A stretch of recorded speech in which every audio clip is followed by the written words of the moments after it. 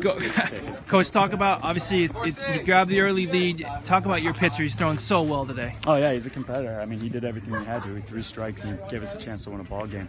Um, just to be able to compete against, uh, you know, Oxford, they're you know they're probably going to make a run at the state title this year. That tells us we have a chance to make a run at a state title, and uh, we'll getting better from here. I mean, that's a good. That's baseball. That's how baseball should be played. Sure. And number one positive takeaway you take away from this game today? We need losses like that to keep getting better. And, uh, you know, we take the same approach into the next game and try to go win that next game. And we got a, you know, we got a league game on Saturday, so we put all our focus at advanced math and science and keep competing. Sure. Sure.